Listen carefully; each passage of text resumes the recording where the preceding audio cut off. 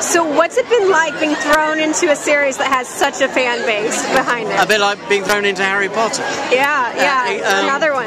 It's it's kind of um, it feels like a big responsibility in a way. So you're realizing um, Thank you. I watched. realizing people's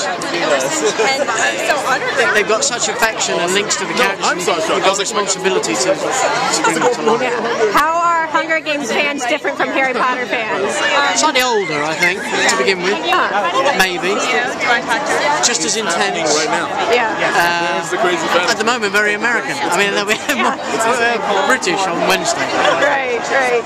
Um, if you were thrown in the arena, do you think you would survive? In no way whatsoever. I'd be dead within about 10 minutes.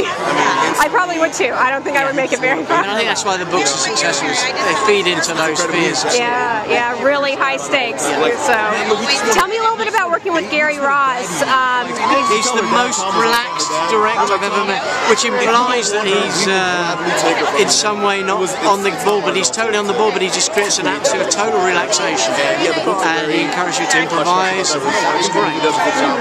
and they're saying, like, surveys and experts are saying this movie's going to make 100 million its first weekend. Really? That that's what the surveys are saying. That's what they're reporting. Is that what did you think when hidden you first heard that? I just hope we make a good movie. I don't, I don't have to worry about the figures. I hope we make a good, movies live on for years, you know, you hope you make a good movie. Yeah, yeah, for sure. Well, congratulations. It's really exciting. Thanks so much.